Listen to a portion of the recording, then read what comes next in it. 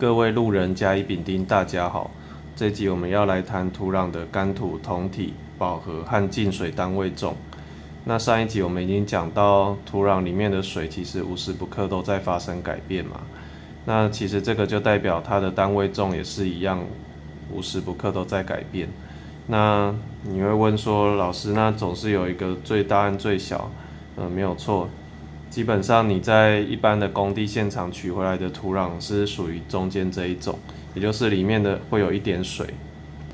这时候的单位重我们就称作酮体单位重。那这个水有可能完全被蒸发掉，譬如干旱的时候，那这叫做干土单位重。那当然也有可能下过雨之后，里面孔隙充满了水，那个时候就叫做饱和单位重。好，那我们现在来介绍要怎么计算它。首先，同体单位重就是工程师刚从工地拿回来的土壤，单位重就是总重除上总体积嘛。然后接下来，如果水分全部散失的话，那里面的重量就只剩下 Ws，所以这时候干土单位重就定义为 Ws 除以 V。那今天如果说水充满了孔隙，变成叫做饱和单位重。那我们就可以想象这个孔隙里面充满的水的重量要怎么算？我们知道这个孔隙里面的体积写作 VA 嘛，那孔隙里面充满了水的重量呢，就是 VA 乘上伽马 W，这个是有关密度式告诉我们的嘛。那所以饱和单位重就是 W 加上伽马 W 乘上 VA 再除上总体积。那除了常见的这三种单位重以外呢？还有一个很有趣的，叫做进水单位重，它的符号是伽马 SUB。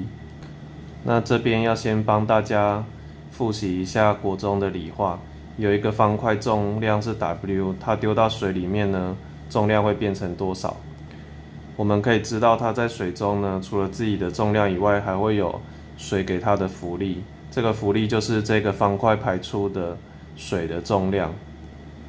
所以呢，这个浮力就等于这个方块的体积再乘上水的密度，也就是说，它最后的重量呢，就是它原先的重量再扣掉浮力，就变成这一个式子。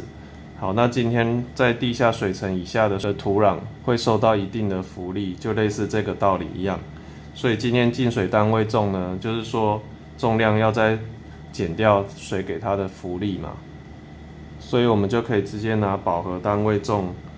的这个重量呢，再扣掉这个水给它的浮力，成为这个进水土壤它本身的总重，进而去列出了这一个式子。好，然后我们再用数学把它切成这样子，就会发现其实前式就是饱和单位重，那后式呢，这个上下 V 消掉以后就剩下伽马 W，所以其实进水单位重就等于饱和单位重扣掉水的密度。好，那以上就是今天全部的内容，拜拜。